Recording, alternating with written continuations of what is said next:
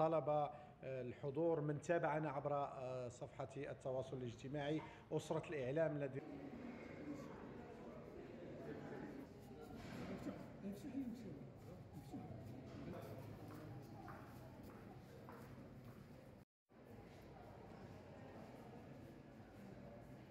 نريد أن نعمق البحث في دور الإمام محمد بن عبد الكريم الماغيلي في ربط الصلات ثقافية اجتماعية سياسية دينية مع إفريقيا الغربية.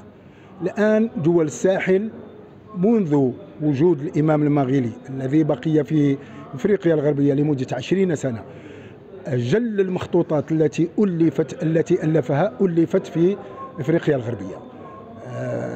إذا يجب أن ننظر إلى الخط الذي اتبعه الإمام المغيري في نشر الدين الإسلامي الإسلام والطريقة والطريقة القادرية التي كلفه بها الشيخ سيدي عبد الرحمن الثعالبي. نعطوهم كاع الاهتمام وندعموهم ماذا بينا اللي عند اللي عنده خزانة بهذا المخطوط. المخطوط هذا ولا غيره؟ عندنا عندنا الحمد لله عندنا اليوم الإمكانيات باش نطبعوهم ونحتفظوا بهم. يحبوا يرجعوا عندهم يرجعوا عندهم المهم يكونوا طبعا تاعتهم تكون تكون مجسده في عند المجتمع متشبع بها المجتمع سواء كان مجتمع جزائري ولا ولا ولا, ولا, ولا لأنه الشخصيه هذا كان عالمي. شخصية كان عالمي. لما لما رحنا إحنا لافريقيا وشفنا الخزائن تاعو والزاويه تاعو كان مستشار الملك كريم فيها في كانو. حرب حرب الفساد.